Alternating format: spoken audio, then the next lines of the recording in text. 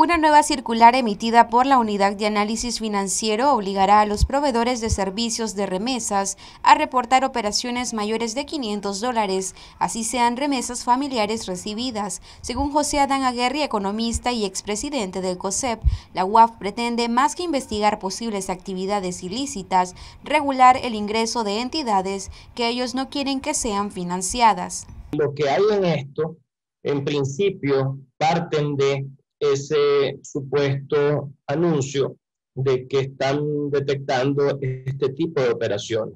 Eh, lo que entonces ellos hacen es eh, establecer que en el caso de las remesas, el umbral que tienen que los, en este caso los bancos y los operadores de remesa, tienen que entregar informes eh, en esta ocasión bajan el umbral de 3 mil dólares a 500 dólares. Es decir, todas aquellas operaciones de remesa que sean de 500 dólares para arriba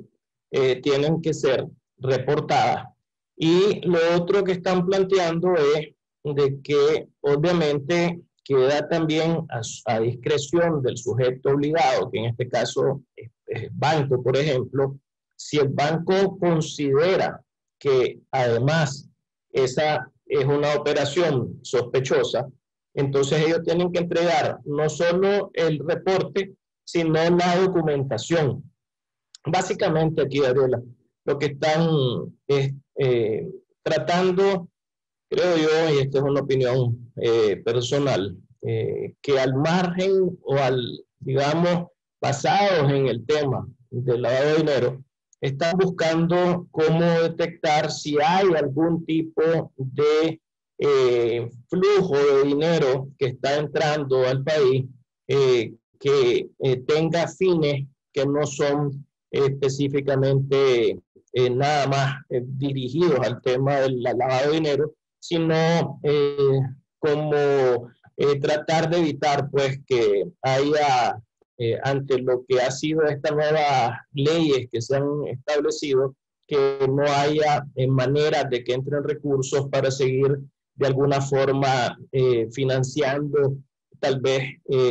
operaciones de entidades que ellos no quieren que ya sean financiadas.